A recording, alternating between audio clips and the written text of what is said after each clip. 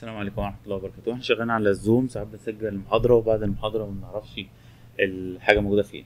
هو لو انت شغال على ال Windows بتلاقي C users وبعد كده اسم ال user بتاعك documents ال Zoom لو انت شغال على Macintosh users وبعد كده اسم ال user انت مختاره documents ال Zoom ونفس الامتداد على Linux بيبقى home وبعد كده اسم ال user و documents ال Zoom طيب لو انت اخترت ان انت تشغل تحط الحاجة على ال cloud يبقى هتدخل على ال Zoom dot us recording هحط الرابط أسفل الفيديو برضو الرابط بتاعت الحاجات ديت. هحطها برضو أسفل الفيديو. هتلاقي الفيديوهات اللي انت سجلتها. هتعلم على أي واحد فيهم وتبدأ تقول له إن انت عايز تعمل download تمام؟ download 3 files بيحمل لك الملف اللي هو الفيديو ويحمل لك الملف اللي هو الكتابات اللي مكتوبة وهكذا. بتقول له حمل بيبدأ يحمل معاك. تمام؟ وخلي بالك انت ليك مساحة محددة. فلو انت سجلت حاجة جديدة ممكن تجيلك الحاجات القديمة.